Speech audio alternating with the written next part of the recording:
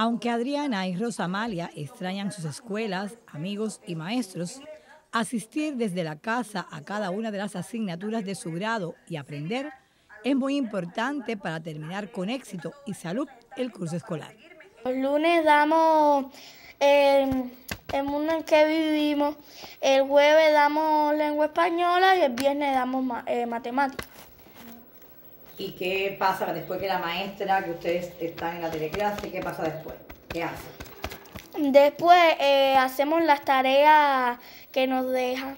Porque estoy aprendiendo con la clase, hago los ejercicios. El acompañamiento de la familia es vital para lograr cada día un resultado positivo, sobre todo en la realización de los ejercicios. Es una buena opción para ellas porque así no pierden clases Cuarto grado es un grado que lleva prueba final y entonces lleva consigo una preparación que ya con esas teleclases ellas están siendo preparadas y veo que no pierden clases y todo está, ah, por lo menos aquí en el hogar, todo sale satisfactoriamente. Cuando ya terminamos la teleclase, lo que hacemos es pasar a las tareas que son dejadas por estas mismas teleclases, entonces las elaboramos en conjunto ya en la casa y tratamos de resolver las tareas ahí con ellas clases televisivas para cada nivel educativo, una alternativa de la educación cubana que desde el hogar preserva la salud humana y a la vez prepara al educando en el estudio individual y el conocimiento según los objetivos docentes de cada grado.